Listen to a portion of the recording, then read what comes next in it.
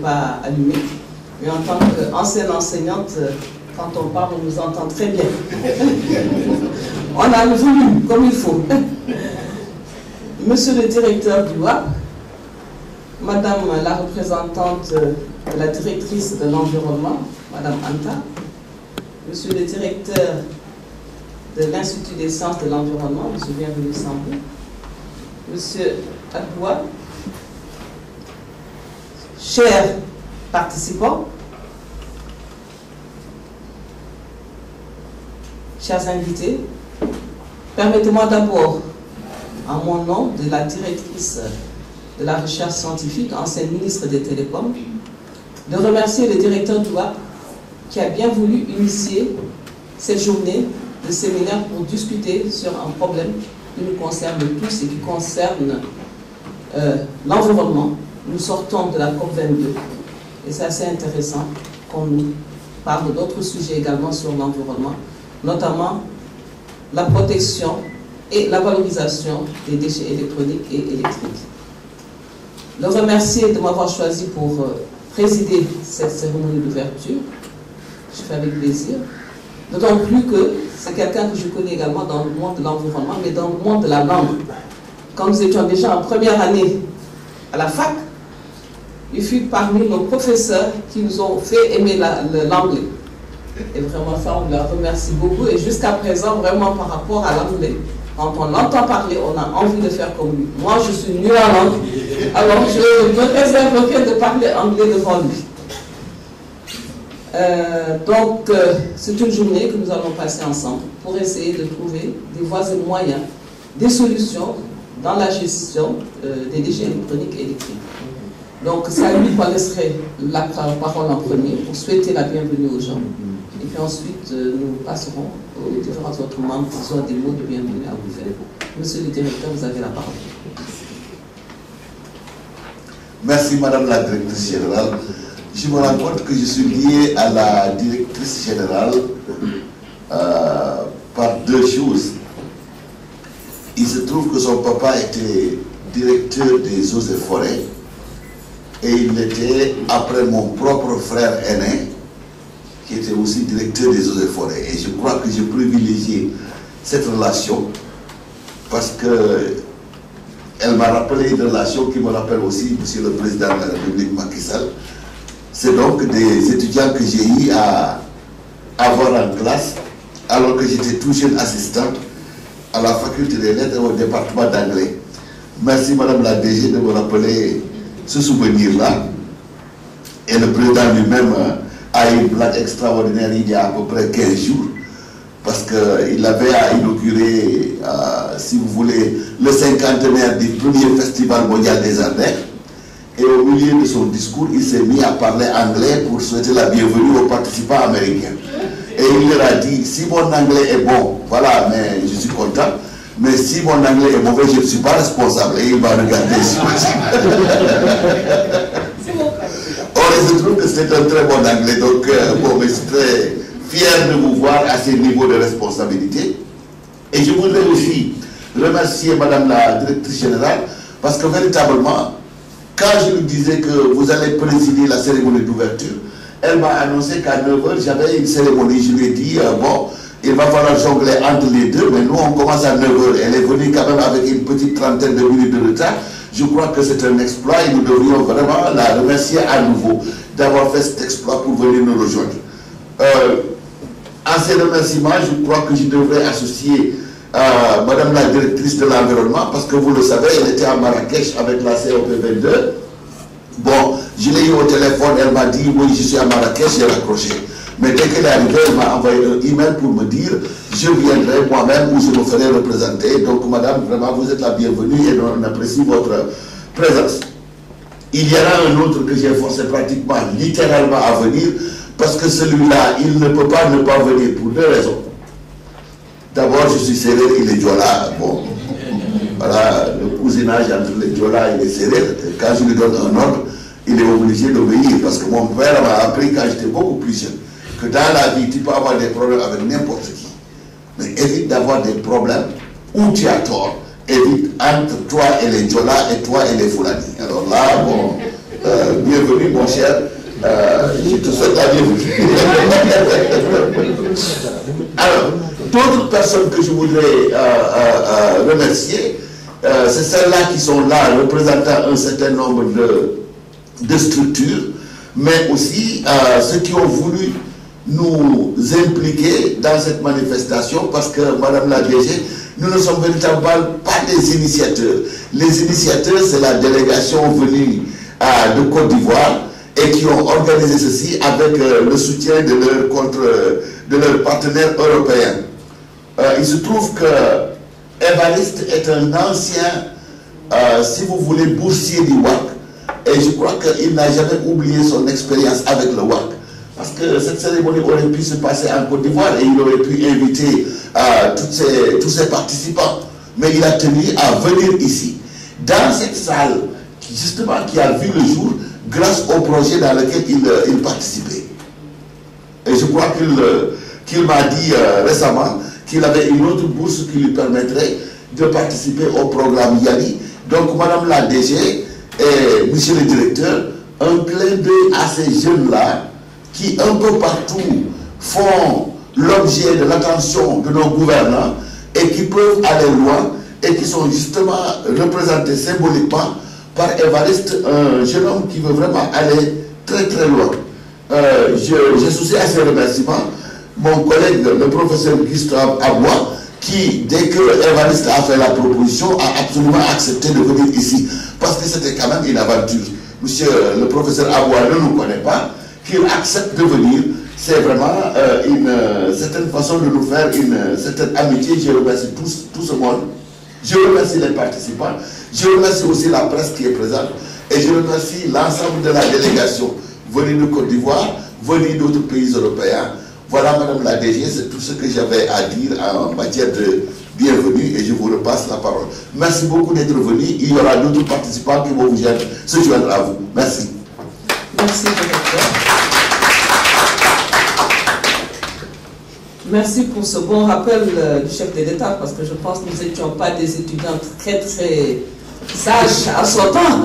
Mais c'était avec plaisir qu'on le faisait. C'était pour, euh, quand même, comme on dit, marquer par notre empreinte euh, l'université. Je pense que jusqu'à aujourd'hui, des étudiants profitent des acquis de nos années de lutte où vous étiez nos prédécesseurs, parce que je pense qu'on s'en rappelle la grève de 68 qui étaient beaucoup plus féroces, mais qui ont fait que quand même il y a eu des acquis dans ces pays au niveau de l'université. C'est un peu dommage. Et c'est un clin d'œil aussi que nous lançons aux jeunes, parce que dans la vie, il faut se battre. Mais se battre en respectant les institutions. Parce que ce qui est dommage aujourd'hui au niveau de l'université, bienvenue ne me contredira pas. Parce que moi, je suis enseignante-chercheur, hein. Mais c'est de par ma profession actuelle et la politique que je fais pour accompagner mon frère, mon ami, dit le, chef de l'État avec qui j'ai fait de la première année jusqu'à la sortie, il a toujours été mon binôme en, géologie, quand même on revendiquait, on allait en mouvement, mais on respectait les choses. On se refusait par exemple de casser l'État, de casser quoi que ce soit.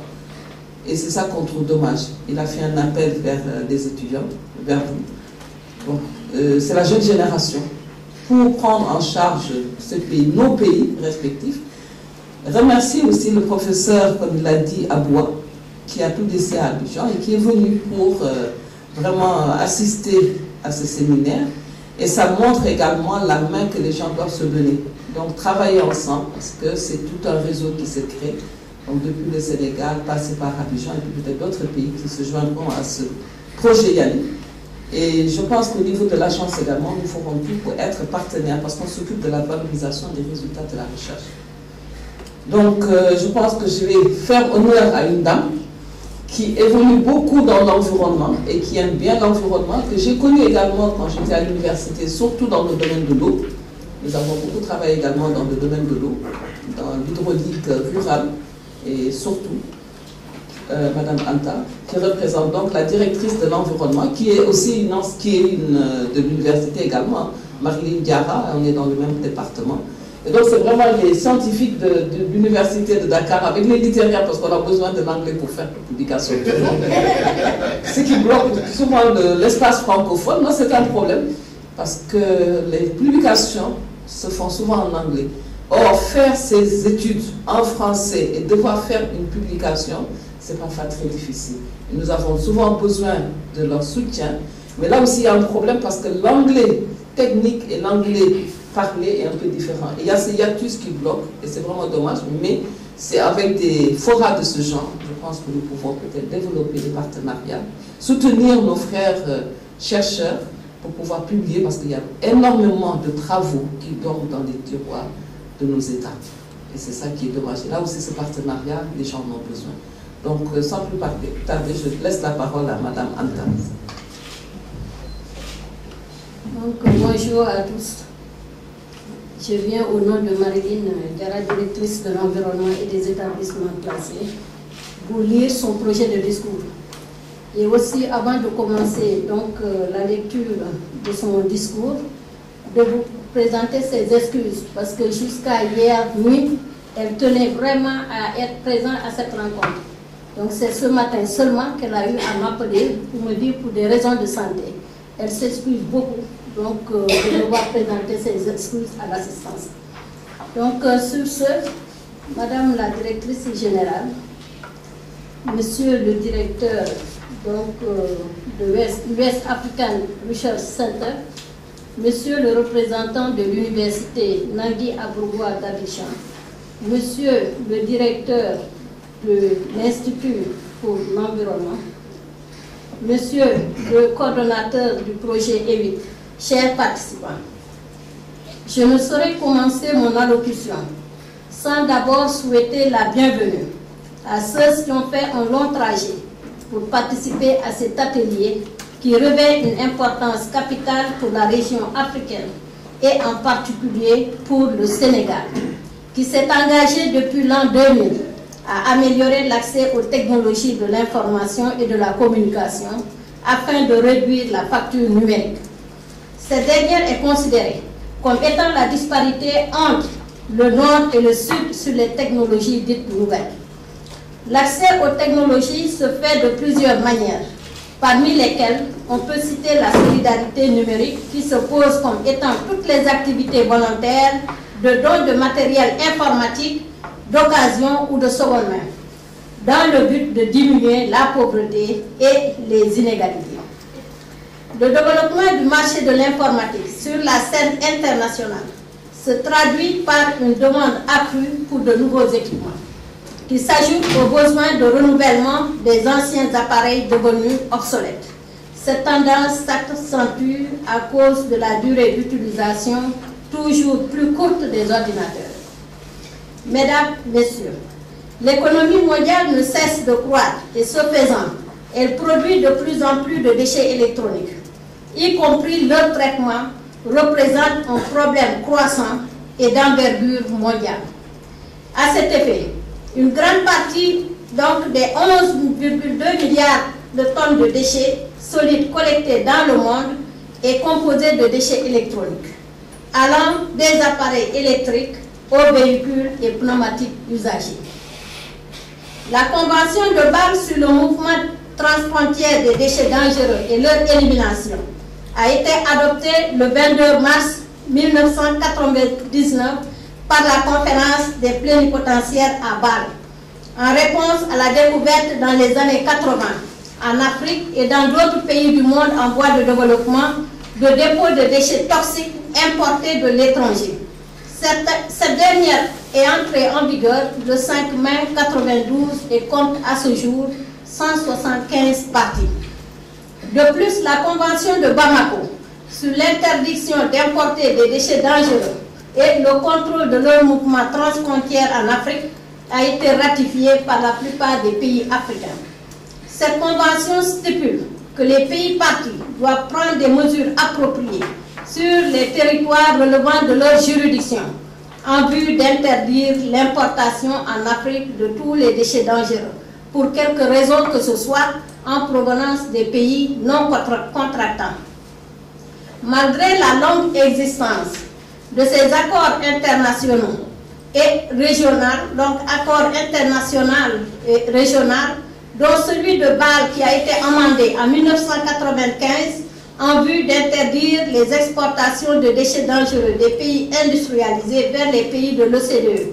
Il existe encore un nombre considérable de violations des règles. Aujourd'hui, nous avons la responsabilité de tous les déchets dangereux qui nous arrivent et en particulier les déchets électriques et électroniques qui sont qualifiés d'équipements de seconde main. les déchets électriques et électroniques sont donc un mélange de matériel valorisable tels que le cuivre, l'aluminium ou le fer, les métaux précieux tels que l'or, l'argent, le palladium ou, la platine et de matières dangereuses organiques dont certains retardateurs de flammes listés dans la Convention de Stockholm et déclarés comme des polluants organiques persistants. C'est ce qui attire notre attention à tous, donc d'aller de l'avant pour mieux gérer ces déchets électroniques. Mesdames, Messieurs, le programme des Nations Unies pour l'environnement estime à plus de 50 millions de tonnes donc des déchets électroniques générés par an dans le monde. Plus de la moitié atterrit dans les pays en voie de développement. À ce titre, les pays africains devraient prendre toutes les mesures afin de promouvoir les meilleures pratiques. La gestion des déchets dangereux figure parmi les priorités du gouvernement du Sénégal, manifestées à travers le plan Sénégal émergent, la lettre de politique sectorielle de l'environnement, le plan national de mise en œuvre de la Convention de Stockholm, pour ne citer que ceci. Pour vous dire que le ministère de l'Environnement et du Développement durable, à travers la direction de l'environnement et des établissements classés, suit de très près toutes les initiatives en cours aujourd'hui à l'échelle internationale, régionale et nationale, marquant un tournant décisif dans le cadre de la gestion des déchets allant dans le sens de la gestion de ce nouveau type de déchets des temps modernes. C'est le lieu de rendre un vibrant hommage et de féliciter le Centre de recherche ouest africain, donc West African Research Center, l'Université Nagui, à, donc l'Université Nagui à Bogoua, et le projet E8, donc euh, E-Waste Implementation Toolkit, pour cette belle initiative qui consiste à regrouper plusieurs experts et parties prenantes autour de la question des déchets électriques et électroniques. La mise en œuvre des résultats de cet atelier contribuera assurément à la réalisation des objectifs du millénaire pour le développement, en son septième point qui veut dire assurer un environnement durable. Sur ces mots. Donc, euh, ça, je laisse la parole à la directrice de l'agence. Donc, euh, c'est elle qui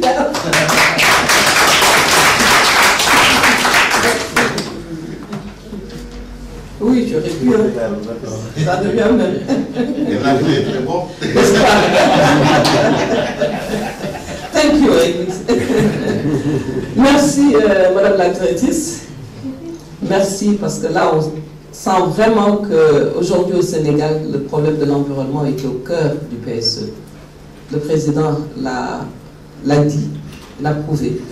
Et je pense qu'au niveau de la COP22, ce n'est pas pour rien que c'est à lui qu'on avait donné la charge de lire les conclusions de cette COP22. Et c'est pour dire que le Sénégal est engagé pour la lutte contre l'environnement. Même si sur le terrain, il y a beaucoup à faire, et nous comptons beaucoup sur vous, les jeunes. Donc, euh, je vais céder la parole à M. Bienvenu Sambou pour euh, aussi nous entretenir par rapport au niveau de l'Institut des sciences de l'environnement, qui s'occupe aussi au niveau universitaire, université Charentelieu, des problèmes environnementaux qui intéressent aussi bien l'université, mais également sur l'ensemble du territoire. M. Sambou, vous avez la parole. Merci, Madame la directrice, Madame la ministre, j'allais dire, parce que il semble que quand on est ministre, on est à vie. Donc je préférerais parler de Madame la ministre que de Chers collègues.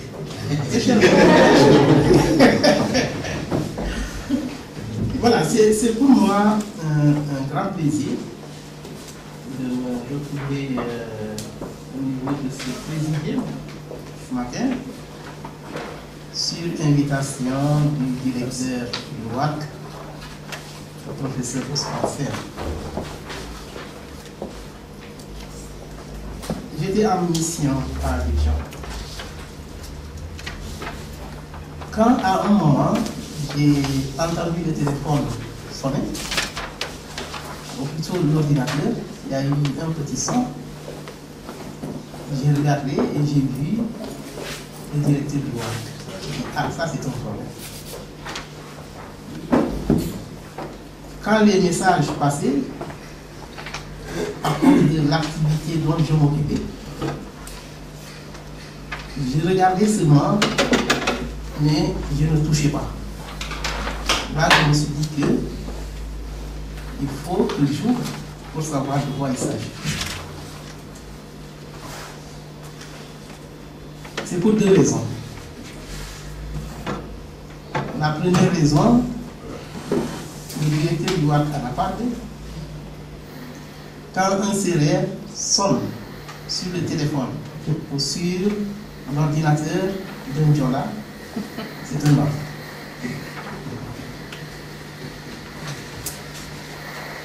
La deuxième raison, je me suis dit que quand le directeur du m'envoie un message comme ça, c'est que probablement il y a quelque chose qui cloche. J'ai ouvert et je suis tombé sur sa lettre d'invitation. Une lettre m'invitant à venir participer, il avait dit participer à un atelier qui devait démarrer ce mardi, ici au WAC. Il dit, ah là j'ai un problème. J'ai un problème parce que j'avais déjà, moi, convoqué une réunion urgente le mardi, donc le même jour, à la même heure, à l'Institut des sciences de l'environnement, parce qu'on s'apprête euh, à, accueillir les collègues de la Société financière internationale pour discuter de normes par rapport à nos masters. J'ai dit là, il y a un problème. Et tout de suite, j'ai réagi, quand bien que j'étais focus sur une préoccupation qui m'a empêché de dormir pendant de longues semaines et qui m'a amené à Abidjan.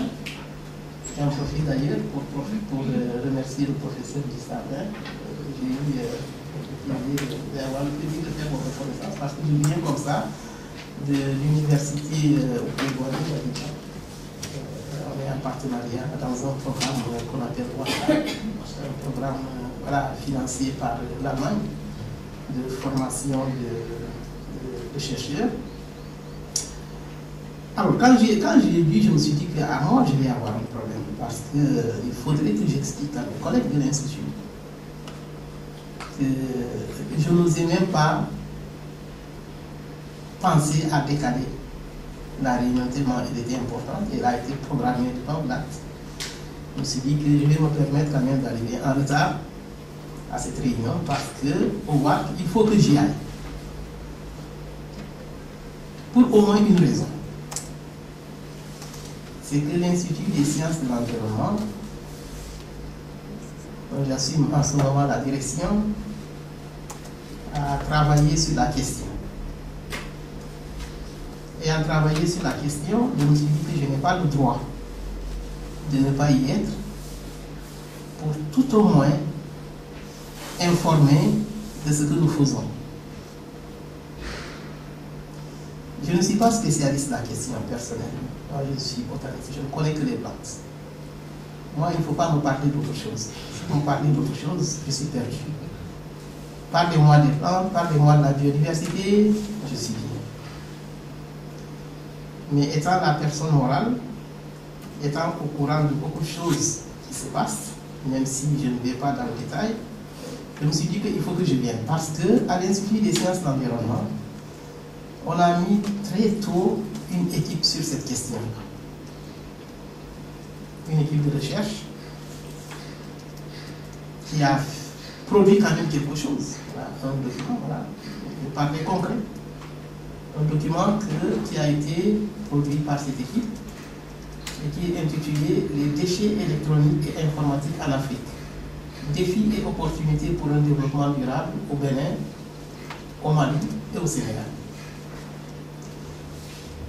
Mon collègue, euh, le professeur Chebio, qui est chimiste et qui dirige cette équipe de recherche, euh, pourrait nous rejoindre certainement euh, au courant de la journée. Moi, je ne parlerai pas des e-déchets parce que je n'en sais pas grand-chose. Je voudrais simplement signaler, monsieur le directeur, que nous, avons de jeunes collègues, le docteur euh, Eladj Sonko et monsieur euh, Diouf, qui sont là, qui ont devancé le professeur qui va nous rejoindre certainement, qui connaissent bien la question. J'ai noté également qu'un des journalistes est un sortant de l'ISE. Euh, ça fait que l'ISE est certainement représenté à tout point de vue. Cette équipe a coordonné une activité de recherche financée par le CRDI en 2008. C'était une grosse équipe formée par des collègues sénégalais, maliens, béninois. Et c'était une équipe, c'était impressionnant parce que c'était véritablement l'interdisciplinarité, formée de chimistes, de biologistes, de juristes, d'économistes, de médecins, de sociologues et j'en passe. Une véritable équipe interdisciplinaire pour essayer d'appréhender les différentes, différentes facettes d'une question aussi complexe que la question des. Un atelier a été organisé en 2014 et c'est à la suite de cet atelier justement que cette publication a été faite au niveau des éditions Cartara. Je dois préciser également que l'Institut a fait soutenir beaucoup de mémoires de master et il y a une thèse qui va être soutenue dans les, dans les prochaines semaines sur la question.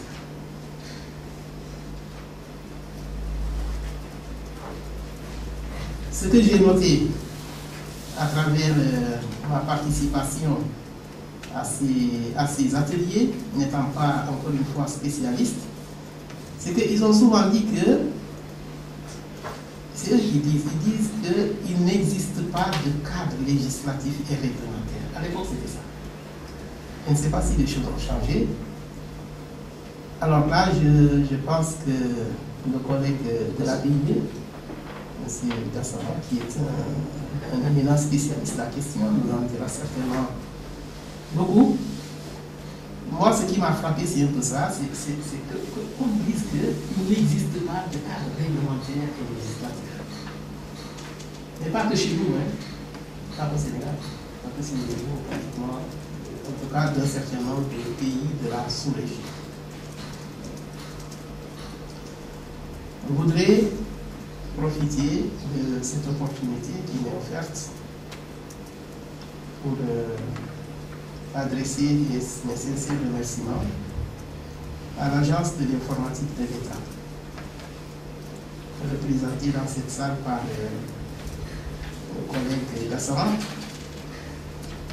qui pendant très longtemps a travaillé pour lutter contre la fracture numérique la gestion des e-déchets. C'est une problématique assez complexe.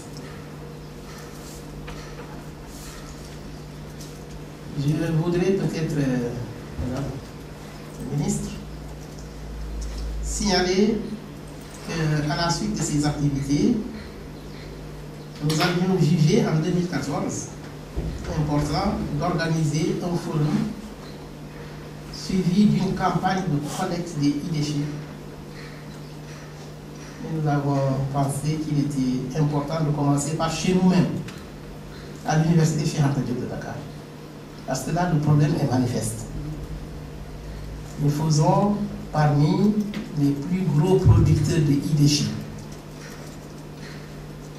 Ça a été une, une activité assez intéressante parce que nous avons saisi le recteur et nous avons demandé au recteur d'adresser une correspondance à l'ensemble des facultés et des collègues, leur demandant de nous sortir tout ce dont ils disposent comme déchets électroniques. La question d'abord, c'est là, c'est quoi un déchet électronique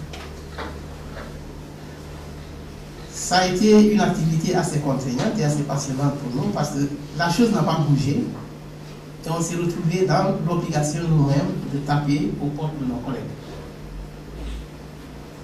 C'est là qu'on a senti, et c'était très bizarre, une résistance de collègues.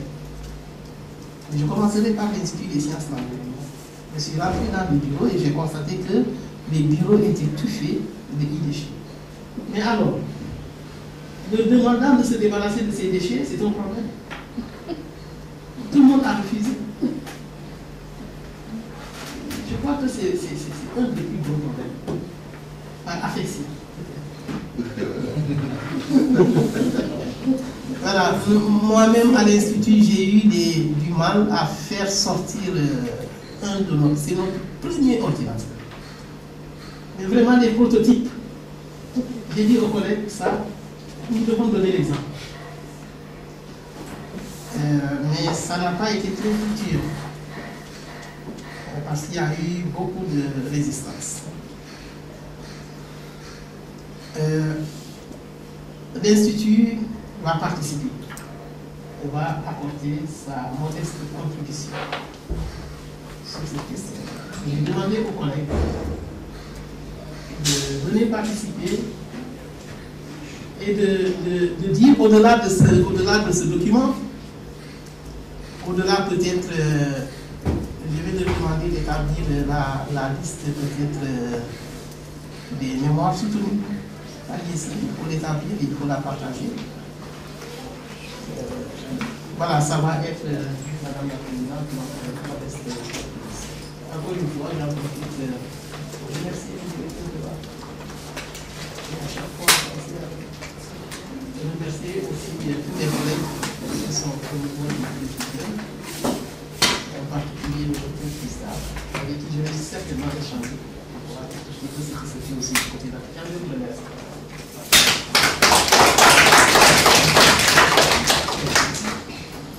Merci, professeur Sambou et directeur de l'ISE.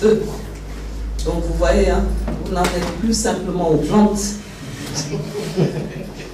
La science mène à tout. Je pense que l'exercice que vous avez eu à faire en 2014 lors de votre forum et la collecte des déchets va vous a poussé à vous intéresser un peu plus et à fouiller jusqu'à venir aujourd'hui avec euh, cette publication peut-être que vous avez oublié. Et donc, euh, la balle est lancée. Je pense que des travaux sur l'électrique et l'électronique, parce que maintenant ce sont ces deux mots qui sont utilisés pour la gestion des déchets. On parle de la gestion des déchets électriques et les déchets électroniques. Et vous-même, vous, l'avez dit, souvent on ne fait pas le, lien, on ne voit pas la différence entre les deux. C'est vrai, souvent on tient vraiment à garder des souvenirs. Peut-être une idée peut sortir de là. Pourquoi ne pas créer un musée? Un musée des anciens. Pourquoi détruire? On peut créer un musée. Vous avez parlé de premiers prototypes et c'est important par exemple aujourd'hui que les jeunes voient l'évolution rapide de tous ces appareils.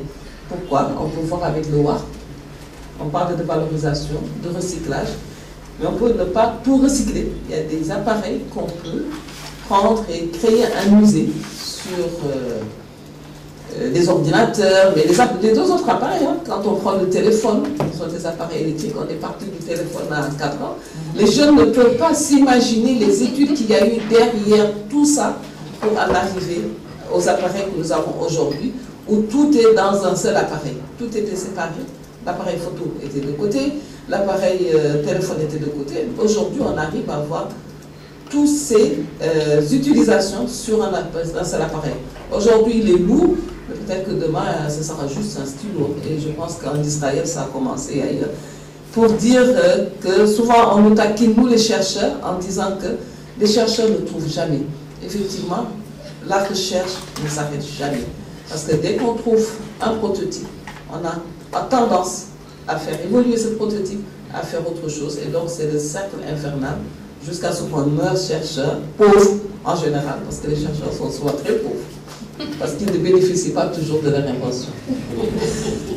Merci, parce qu'il faut toujours que le secteur privé vienne, le partenariat, comme on appelle le PPP, euh, partenariat public-privé. Tu trouves, ils donnent, bon. Et dans le temps, surtout les chercheurs ne savaient pas qu'il fallait voir, il fallait être peut-être euh, avoir des retombées. Les jeunes qui ont fait beaucoup de finances, parce qu'ils ne sont pas simplement dans les sciences, avec euh, cette inter... pas communalité, comment on appelle ça encore, parce qu'aujourd'hui on peut faire plusieurs masters combinés. De plus en plus, nous avons des chercheurs qui vont vers les langues, mais qui vont vers les finances et qui voient quelles sont les aptitudes à avoir lorsqu'ils font des découvertes. Euh, donc, en souhaitant encore une fois de plus la bienvenue au professeur Aloua, qui nous vient d'Abidjan, nous allons lui laisser la parole. Nous souhaitons un très bon séjour parmi nous au Sénégal, le pays frère, la Côte d'Ivoire que nous aimons beaucoup. On a l'habitude de dire que les Ivoiriens, c'est parce qu'ils ne voient rien, et les Sénégalais apportent gloire de soleil. voilà, donc nous allons voir pour le Idiché ce que la Côte d'Ivoire nous, nous, propose. Et ce que j'oublie de dire, c'est que par hasard, moi j'étais le ministre des Télécoms. Et donc, ministre des Télécoms, des postes et des NTIC. Donc, ce fut au cœur de mes préoccupations. Et je donnerai tout à l'heure l'exemple que le Sénégal avait mis au point. Monsieur Adoua, vous avez la parole. Merci beaucoup, Madame la la présidente, madame la ministre, car chez nous, est ministre et à vie. Et vous êtes toujours ministre. Quand on voit la magistrat de la tenue de cet atelier, on ne peut que vous remercier. Monsieur le, la représentante de la directrice de l'environnement, monsieur le professeur, directeur du WAC, cher allié, professeur Sambou, L'atelier d'aujourd'hui devait se tenir, je dirais, une semaine avant.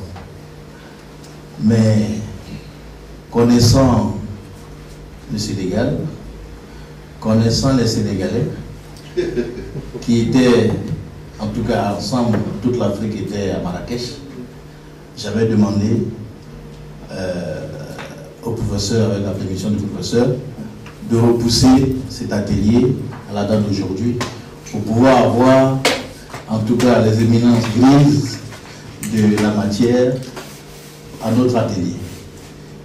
Je tiens, merci, je tiens à dire merci au professeur qui a accepté. Et aujourd'hui, nous avons la chance d'avoir Madame le ministre avec nous et aussi la représentante de la Direction générale de l'environnement avec nous. La question de l'environnement, la question des, déchets ne touche pas qu'une partie de l'Afrique. Nous sommes tous concernés et c'est pour cela que nous voulons aujourd'hui présenter les résultats de recherche qui ont été effectués dans plusieurs pays d'Afrique, y compris la Côte d'Ivoire, sur la question de gestion intégrer des idées.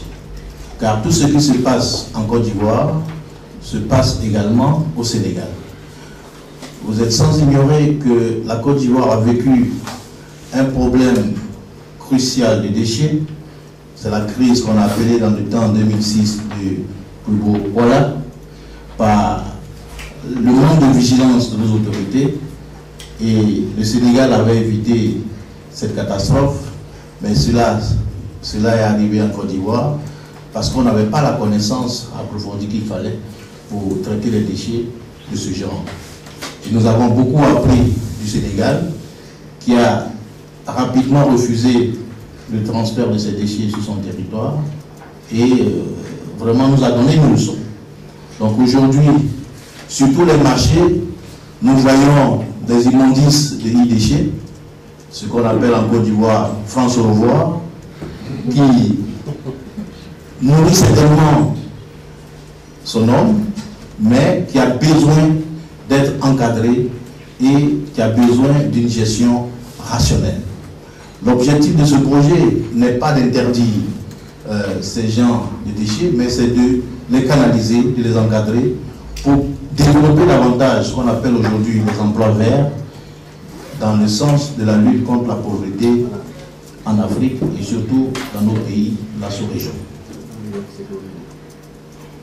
La Côte d'Ivoire et le Sénégal ont des liens ancestraux, car depuis les années 40, le Sénégal était le lieu où venait apprendre toute la sous-région.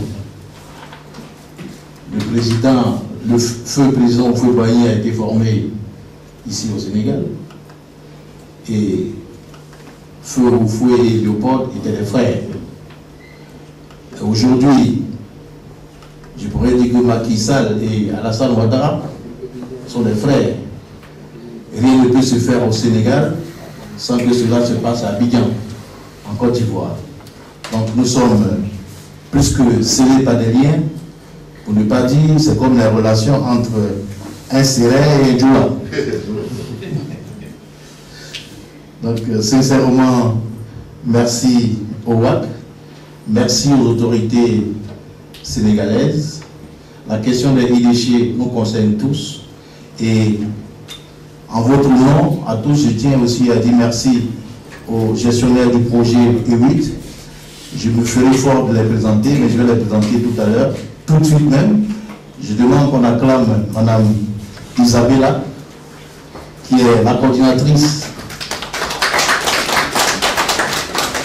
qui représente les médias, les médias qui est la structure qui coordonne le projet au niveau mondial. Son partenaire Andrea, également de est, qui est, une structure basée en Italie.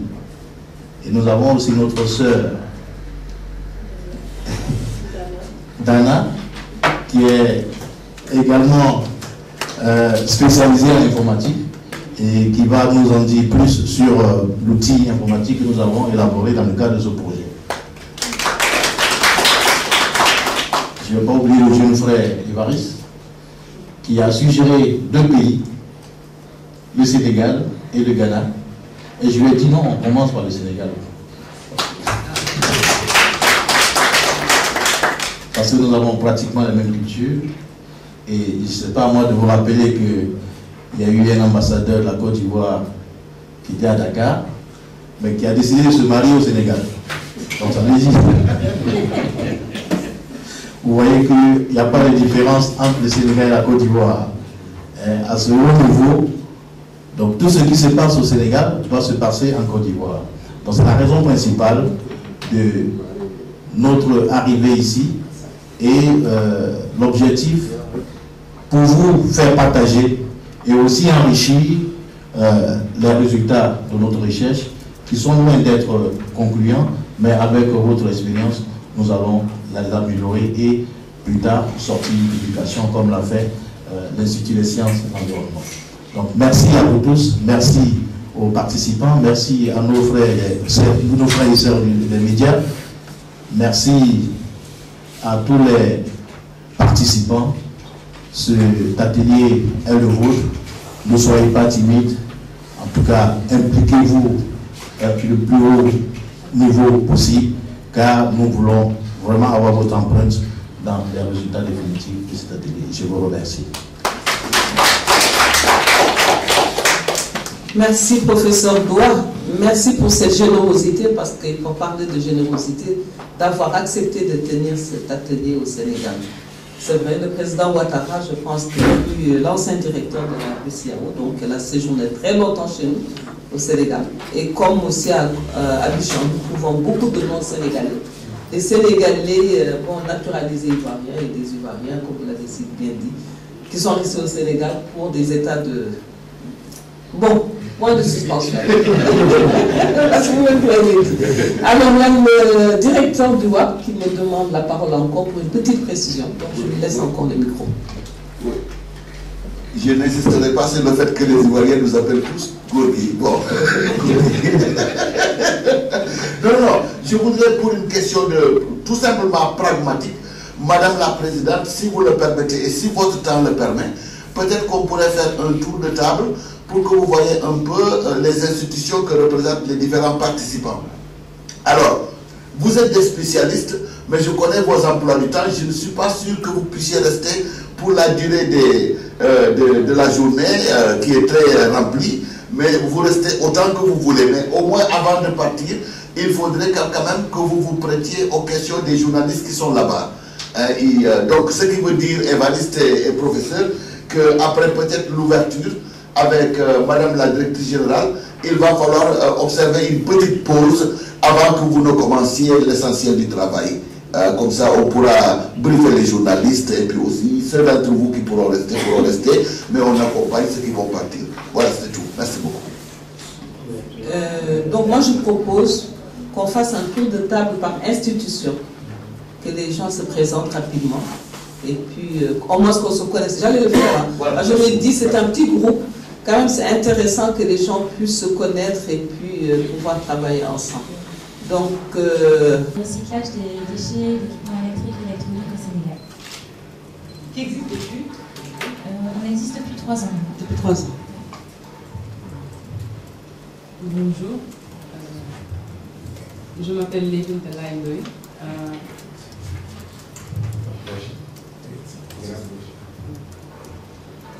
bonjour, euh, je m'appelle Lévin Talaïndoy.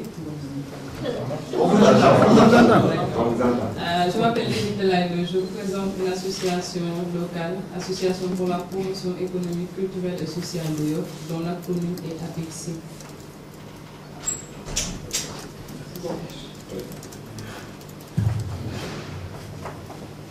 Bonjour tout le monde, je m'appelle Amadou Samb.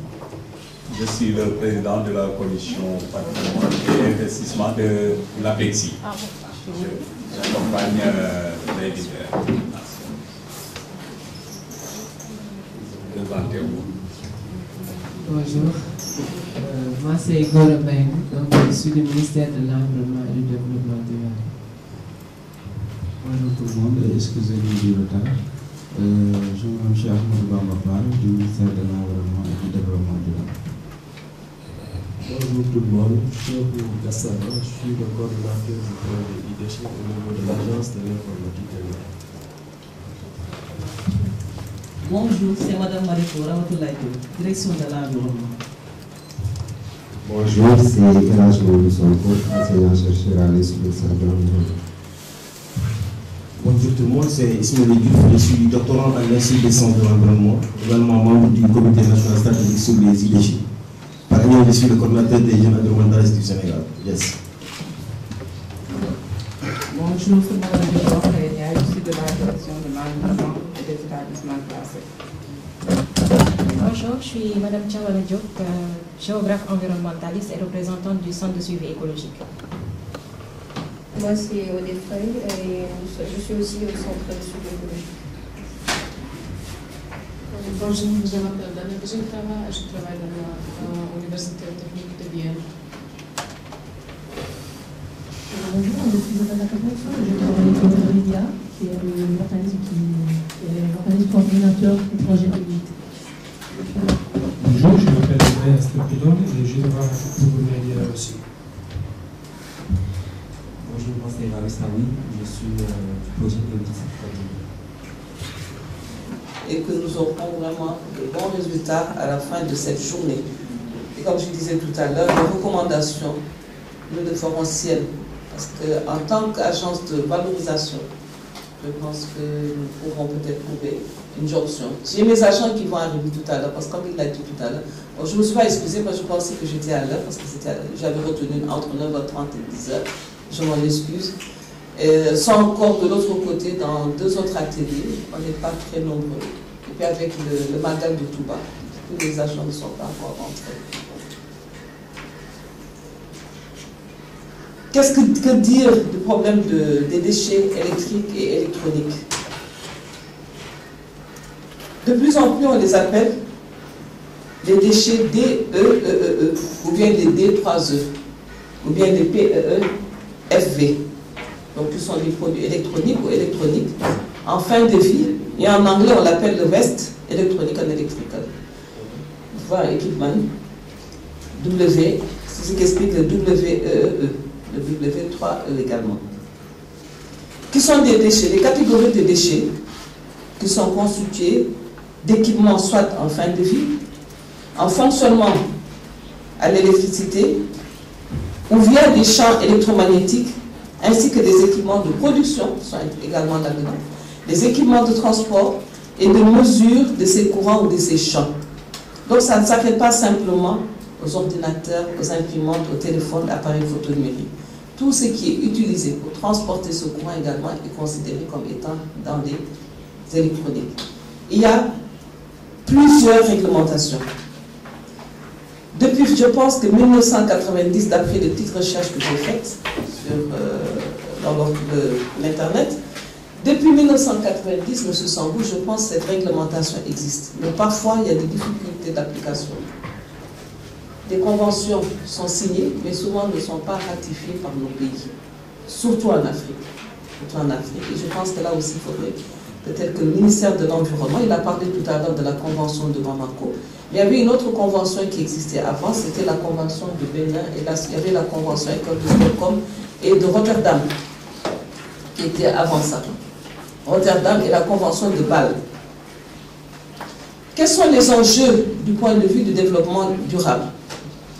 En effet, ces déchets ont une empreinte écologique qui est très élevée en raison des importantes quantités de ressources en eau, on n'y pense pas souvent, de métaux et énergie mobilisés pour leur conception, leur fabrication, leur transport, leur, utilisation et le recyclage de ces composantes, de ces objets électriques et électroniques. Ainsi donc, elle l'a rappelé tout à l'heure dans son discours, les DEE e contiennent des métaux précieux. On peut trouver de l'argent, de l'or, du palladium, du cuivre ou de l'indium. Donc, source d'emploi. Parce que les gens qui travaillent dans ces déchets, qui vont chercher cet argent, qui vont chercher cet or, donc c'est créer de l'auto-emploi. Parce que souvent, ce n'est pas des emplois organisés. C'est maintenant que nous parlons d'emplois organisés dans ces cadres qui se mettent en place de plus en plus. Mais également, il y a des composants qui sont toxiques ou dangereux comme l'aluminium, le cuivre, le plomb, le zinc et les métaux du groupe de platine, de l'argent et des polluants tels que l'arsenic, le mercure, le cadmium et le lithium. Il y a également d'autres types de produits qu'on y trouve, comme le verre, le plastique et la céramique.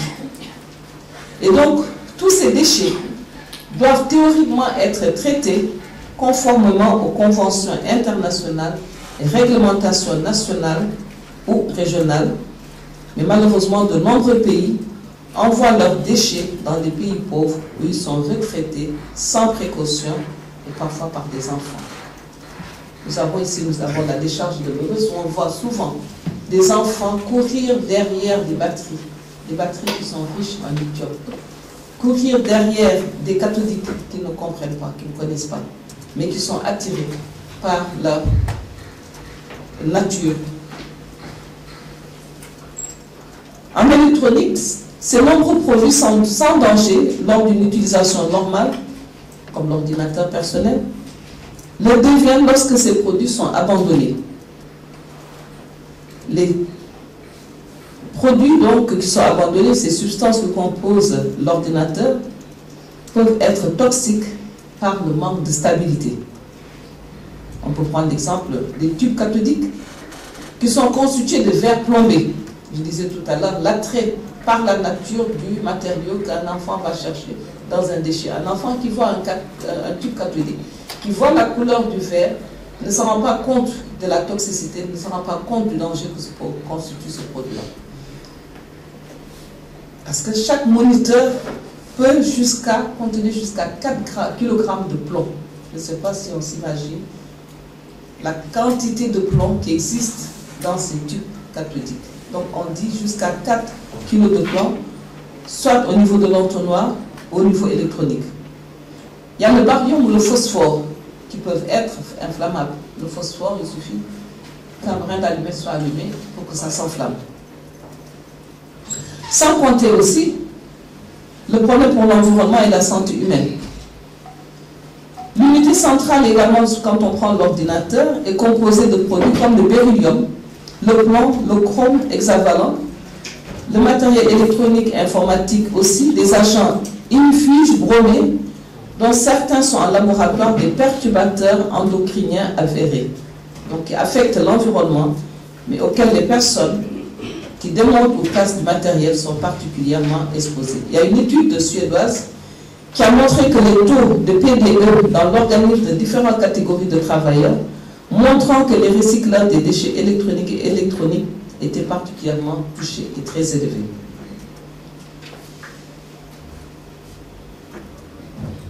En France, les composants dangereux provenant d'équipements électriques et électroniques, ou qu'on entend composants électroniques eux-mêmes, comme les piles, les accumulateurs et autres,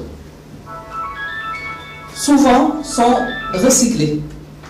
Mais même dans ce recyclage, des problèmes environnementaux se posent.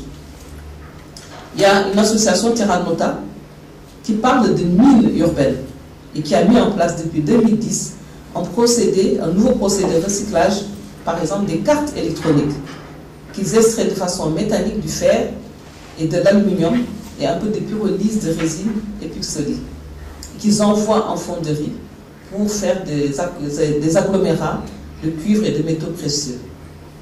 Donc ce gisement, par exemple, serait à 200 000 tonnes de cartes électroniques par an, dont 130 000 tonnes pourraient être traitées par les fonderies. Quelles sont les sortes alternatives? On l'a dit, c'est recycler pour offrir une seconde vie. C'est réutiliser, réparer et pour une empreinte écologique. Tout à l'heure, nous avons parlé du musée. Au Sénégal, en son temps, le président de la République, M. Ablaïwad, avait créé une structure qu'on appelait Sénéclic. Sénéclic récupéré parce que, vu l'évolution, ça c'est au niveau des ordinateurs, vu l'évolution de euh, technique des ordinateurs, souvent, ce n'était pas que les ordinateurs étaient en panne dans les pays développés, c'est parce que les gens ne l'utilisaient plus, les capacités n'étaient plus les mêmes, il fallait passer à une,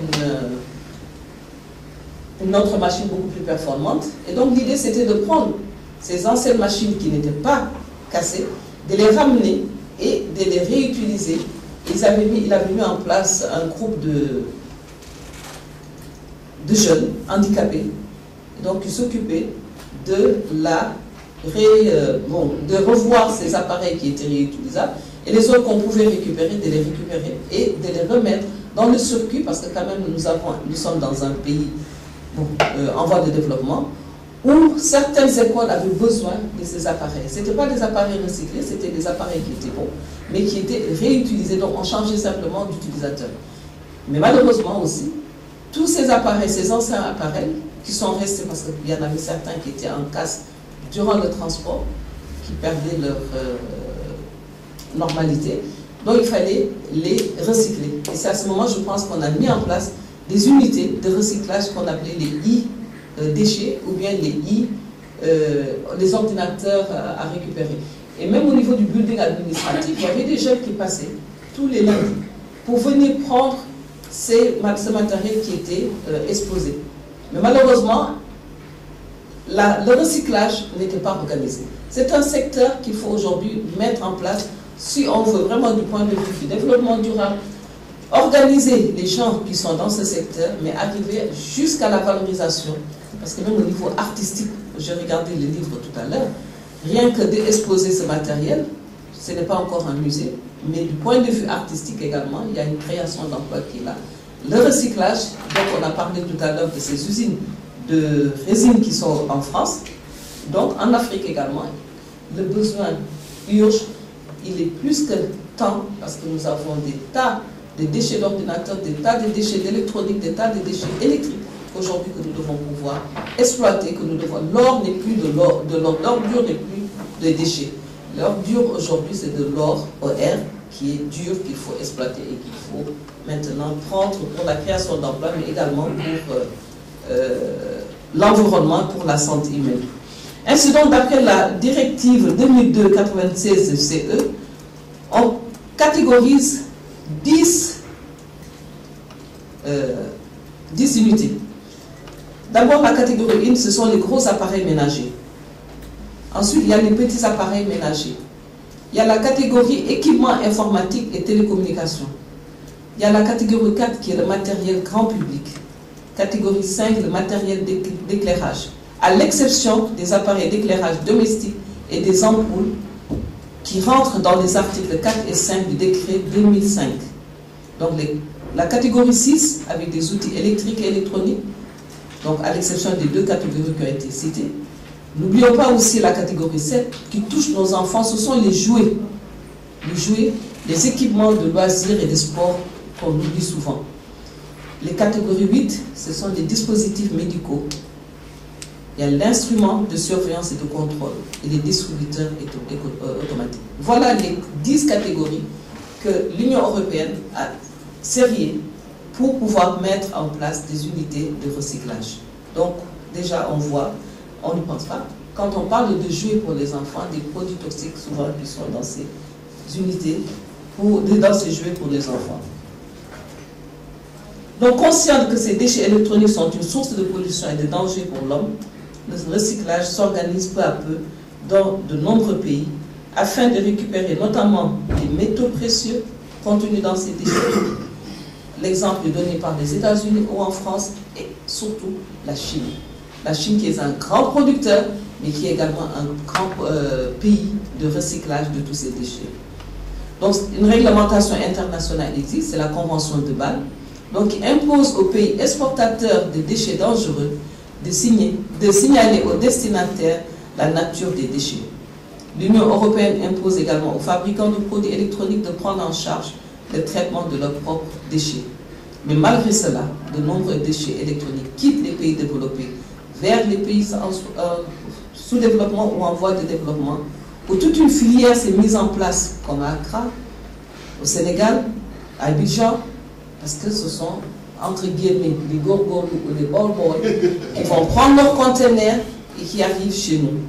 Donc une partie de ces déchets sont exportés, ils sont plus facilement en état présenté comme du matériel d'occasion réutilisable, mais en réalité souvent inutilisable dans les trois quarts du cas. Donc il faudrait vraiment qu'on fasse un tri à l'entrée. Et donc il faudrait que nos frontières, donc ça doit aller, ce genre de séminaire, je pense, doit aller au-delà même des experts.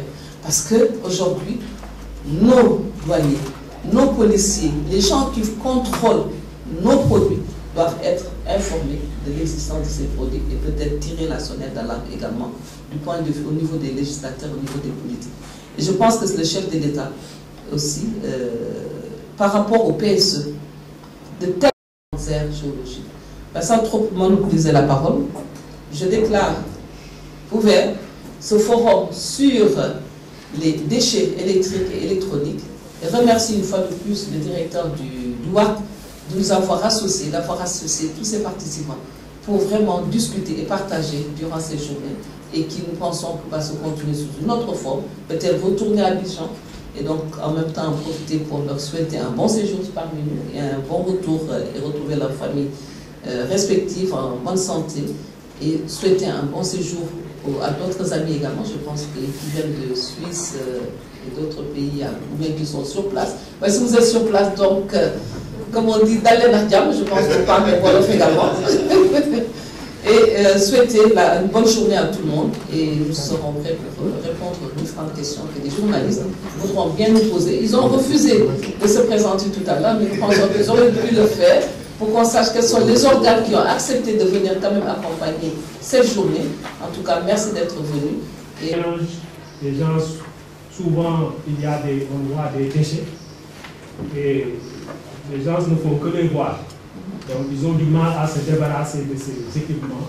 Or, ces équipements, en tout cas, ils ont, par devers eux, n'est-ce pas, une, fait, une bombe à retardement, n'est-ce pas, par devers eux. Tout simplement parce que, comme on le dit, euh, vous avez par exemple un appareil, quand vous n'enlevez pas la batterie, on peut vous trianguler on ne pourra vous trianguler que quand vous enlevez l'appareil. Supposons que j'ai un téléphone portable, tant que la batterie est dans le téléphone portable, même si j'éteins le téléphone, on peut me trianguler pour me situer. Donc le fait qu'il y ait cette batterie-là montre qu'il y a une, charge d'énergie qui se consomme et en latence. Est-ce que vous voyez?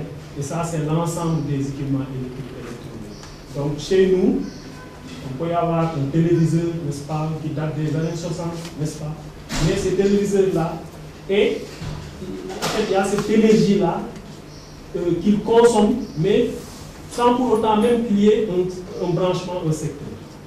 Est-ce que vous voyez Donc ça, c'est le principe des équipements électriques. Tant et si bien qu'il faut véritablement mettre l'accent sur la sensibilisation et l'information de la population. Je vous remercie. Merci. Il faut un Africain nouveau vis-à-vis du. On parlait ce matin de l'état affectif. Il y a des gens qui ne veulent pas se débarrasser de leur ancien portable parce qu'ils ont établi un lien avec ce portable. Et le portable a rendu tellement service qu'on préfère garder ce portable que de, de donner au vendeur ou bien au, au réparateur. Ça, parce comme vient de le dire, quel que soit l'amour, l'affection qu'on a pour cet objet, il va toujours dégager euh, un impact négatif sur notre santé. Une fois qu'on le range quelque part, ou bien même s'il est, il est endommagé, mieux vaut le céder euh, au récupérateur. Deuxième recommandation. Ok, merci beaucoup. Je vais juste ajouter quelques aspects concernant la recommandation, parce que dans l'intervention de Mme Sec, elle a parlé de la CDAO. Et vous savez qu'on a des accords commerciaux. Donc, par rapport à l'importation ou même aux échanges entre les pays, il y a certaines facilités. Donc, serait utile dans le cadre de la législation, qu'on puisse aussi voir ou penser global. C'est-à-dire comment faire pour que, dans un même espace, que les gens puissent avoir ou bien puissent articuler un peu les législations. La législation, c'est extrêmement important. Je sais que si, si, si on évolue comme ça, ça va nous aider un peu. Parce que si par exemple le Sénégal a un dispositif qui nous permet de gérer tous ces aspects-là au plan juridique et que les pays limitrophes, notamment la Gambie ou un autre pays qui est là, n'a pas cette même, euh, ces mêmes dispositions, évidemment il y aura un transit parce que nos frontières sont un peu poreuses. Donc c'est important de penser global par rapport aux aspects concernant la législation. Maintenant, recommandation aussi doit être euh, faite à chaque acteur, parce qu'il faut le dire, il y a des acteurs qui sont là et chaque acteur a son champ d'action, a sa responsabilité. Donc, une fois identifié cette responsabilité, l'acteur doit être sensibilisé. Et malgré, euh, comment elle s'appelle? L'action doit être, la sensibilisation doit être opérationnelle. Euh, si vous prenez par exemple euh, certains acteurs, notamment les décideurs et autres, ils sont plus sensibles aux questions de danger. C'est-à-dire, si vous leur dites attention, si vous continuez à manipuler ceci, d'ici 10 ans ou 5 ans, vous serez malade ou il y a tel autre aspect, automatiquement vous attirez leur attention. Ils commencent à dire Ah bon, pourtant dans l'atelier, je fais intervenir mes enfants pour qu'il y ait un leg, c'est-à-dire que les enfants puissent, dès que le parent ou bien le père ou l'oncle ne parviendra plus à être opérationnel, que les enfants puissent continuer. Et ça devient une chose qu'on peut hériter. Vous comprenez. Donc c'est important de sensibiliser acteur par acteur après avoir identifié, n'est-ce pas, les responsabilités de chaque acteur, que ce soit les distributeurs, que ce soit les utilisateurs professionnels des ménages, ou bien même les acteurs de l'économie circulaire, n'est-ce pas. Et là aussi, parlant de tous ces aspects-là, parce que la mise en œuvre doit être bien encadrée. Donc il faut impliquer un peu les parlementaires, si possible, parce que c'est eux qui vont nous aider à faire un plaidoyer pour que tout ce qu'on va proposer en matière de législation et autres puisse passer.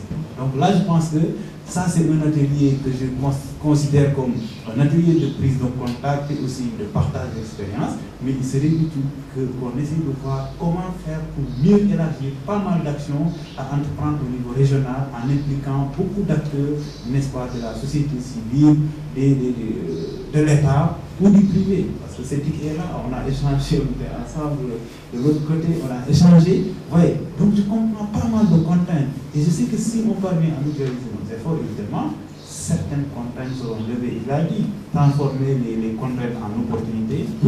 C'est bien possible. Mais il faudra qu'il y ait un réel partage d'expérience, n'est-ce pas Et aussi une implication de tous les acteurs. Et cela suppose que chaque acteur puisse être sensibilisé et véritablement ses responsabilités puissent être situées. Voilà les quelques aspects que je voulais Ok. efficiente. Parce que là, nous voyons que nous recevons des déchets. Par rapport aux déchets électriques et électroniques, la plupart des pays ont élaboré le plan national de mise en œuvre de la Convention de Stockholm. Et par rapport à ces plans nationaux pour le cas du Sénégal, nous avons vu qu'effectivement, nous avons ici des ordinateurs qui contiennent des produits qui ont été interdits donc par les conventions. Donc ce qui fait que, et qui présentent des dangers réels pour l'environnement et la santé. Mais jusqu'à maintenant, nous continuons à recevoir ces déchets parce que vous savez, en Europe, l'élimination des déchets coûte très cher. Maintenant, il faut en profiter pour se débarrasser rapidement de ces déchets. Et aujourd'hui, nous sommes des sujets donc, qui sont là. Et je crois que ça aussi, c'est une recommandation forte pour les pays de devoir reconnaître ceux qui contiennent ces produits vraiment qui sont interdits par les conventions. Et tout ce dont vous venez de mentionner sera pris en compte. On a la chance d'avoir à les bureaux des bureaux de, l'Union africaine un bureau régional, bureau de la CDAO qui est aussi représenté, et aussi du premier euh, qui est euh, à Abidjan. Et le séminaire, l'atelier qui va se tenir d'ici euh, le vendredi, le jeudi, en tout cas nous, nous ferons fort d'inviter ces représentants pour qu'ils puissent savoir que les déchets électroniques constituent certes un marché, mais c'est un danger pour toute l'Afrique et que cela doit euh, nécessairement avoir des lignes directives pour euh, euh, leur éradication ou leur réutilisation en espace sous-régional. Également, l'Union africaine, l'Union européenne a, a, sa représentation dans pratiquement tous les pays francophones. Nous allons faire fort d'inviter l'Union européenne qui saura que son financement a des résultats et que ces résultats seront pris en compte au niveau des politiques environnementales euh, de chaque pays, non seulement la sous-région, mais des pays euh, euh, respectifs dans lesquels les, la question des déchets électroniques est cruciale. Tout cas, merci pour votre attention. Merci d'avoir pu donner des parties prenantes en matière de déchets. Je vais maintenant donner la parole à notre aîné. On l'a dit, le président Macky Sall l'a dit. L'anglais Sénégal n'est pas bon, ce n'est pas lui, mais c'est. Mais heureusement, ce, jour anglais, le président était bon.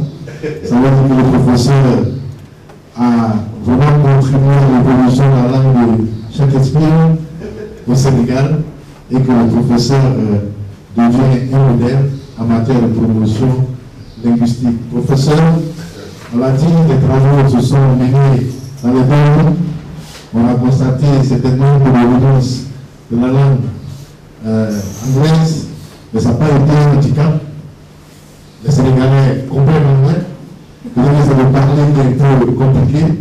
Si on n'a pas eu besoin d'interprète pour comprendre Andrea qui s'exprimait en anglais, hein, pratiquement, en tout cas les questions, nous montrons qu'il n'y a pas de barrière linguistique. Euh, il peut s'exprimer en anglais, mais quand on répond en français, on a compris les questions. Professeur, vous avez été utile. Je vous donner mots pour la culture. Merci. Ça va être très bref parce que vous avez passé toute la journée ici. Je voudrais vous dire que vous ne vous en rendez pas compte, mais j'ai appris quelque chose à vous, à vous écouter. Parce que à partir de maintenant, quand on me dira qu'une organisation dans un village a reçu un don d'ordinateur, je me dirais peut-être quelque part aussi, ils ont reçu des déchets électroniques sans le savoir. C'est sûr. Ce qui fait que donc, à partir de maintenant, tous ceux qui ont participé à ce séminaire et nous autres, on fera attention et on sensibilisera les organisations à la base et les écoles pour qu'ils n'acceptent pas n'importe quel don. On vous donne un ordinateur vieux de 10 ans, on vous amène ça, on vous dit Ah, nos enfants vont s'initier, il y a un déchet très dangereux quelque part. Ça, moi j'ai appris ça et je n'étais pas là. Ce qui veut dire que donc votre séminaire a été hautement. Alors, je vous rassurer aussi, euh, bon, au moment où vous allez clôturer, sachez que dans deux jours, c'est-à-dire vendredi, Il y aura un autre séminaire ici, mais cette fois-ci, dans l'environnement toujours, mais avec toutes les perspectives positives. Parce que les gens vont discuter de quelques productions qui ont disparu du Sénégal et un peu d'Afrique, comme euh, euh, les calbasses. Hein, parce que vous le savez, hein, si vous faites votre tiré bombe, il faut du yom. Or, on ne produit presque plus de yom. Et les calbasses aussi. C'est ça qui donne la cora et d'autres instruments. Ils vont discuter de ça. Donc, ce qui est un complément à ce que vous faites. Voilà. Et, je voudrais très sincèrement, euh, je voudrais aussi ajouter une chose. Je crois que vous allez certainement faire un réseau, en tout cas. On a fait circuler pour qu'on puisse avoir toutes les adresses email. Et à partir de ce moment, vous pouvez commencer à réseauter et à porter ce langage-là un peu partout. Ce que je voudrais ajouter, c'est vraiment remercier les organisateurs. S'ils parlent anglais, I would like to thank you very much for trusting us, right? And uh, really, you welcome to Senegal and to work any day and any time.